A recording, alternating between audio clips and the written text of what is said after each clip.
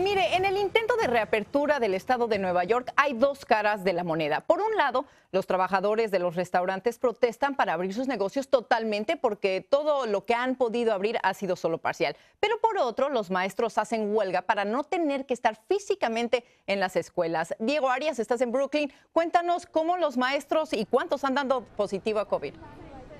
Rebeca, al menos 55 empleados de las escuelas públicas de Nueva York han dado positivo por el COVID-19. El alcalde insiste en que es un número muy pequeño comparado con el número de personas que se les hizo la prueba, 17 mil.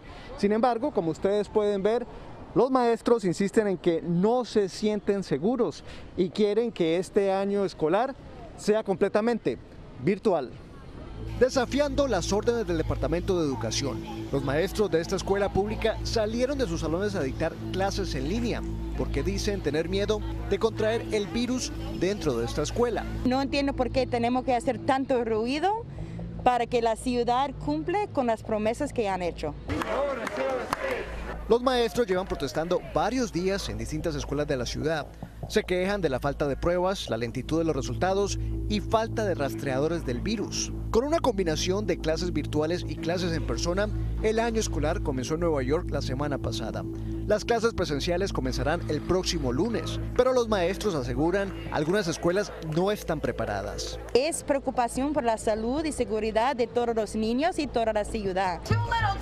En la otra cara de la moneda están los que trabajan en la industria de los restaurantes. El gobernador Andrew Cuomo autorizó la reapertura de sus espacios internos, pero solo a un 25% de capacidad a partir del 30 de este mes. 25% no es suficiente para nosotros eh, mantener nuestra familia. Que se vuelva a abrir para poder sobrevivir. Todo el mundo necesitamos comer.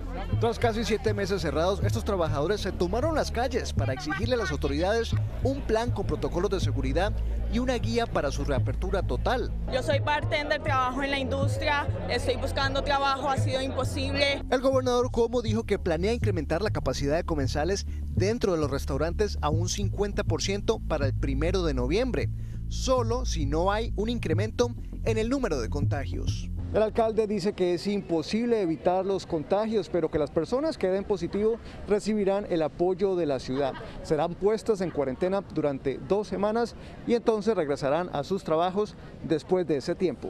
Rebeca.